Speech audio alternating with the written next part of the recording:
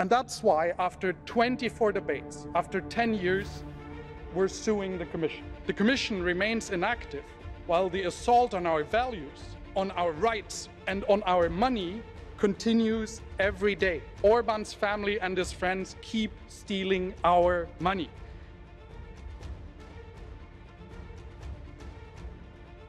Colleagues, dear Commissioner Hahn, uh, today is the 24th debate on the rule of law, including in Hungary, since Viktor Orban was elected in 2010. Uh, 24 times we have discussed the dismantling of democracy, the attacks on the free media, on independent judges.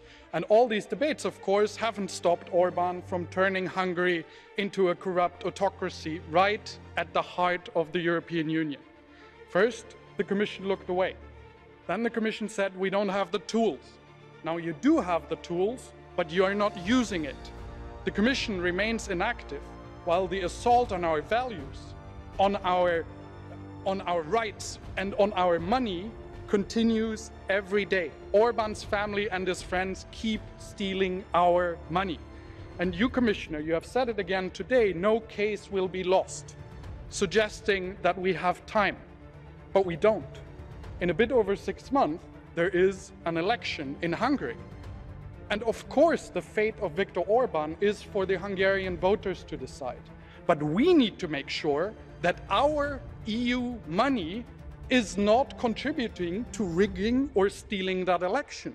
So the inaction of the Commission is highly political because your, uh, your inaction allows Orban to buy support with EU money. Your inaction allows Orban to control the media coverage of that campaign. And your inaction makes that the opposition is not contesting in a fair and free election in Hungary. And that's why, after 24 debates, after 10 years, we're suing the Commission. Because we don't want that the European Union supports the re election campaign of a corrupt autocrat in Hungary. Thank you very much.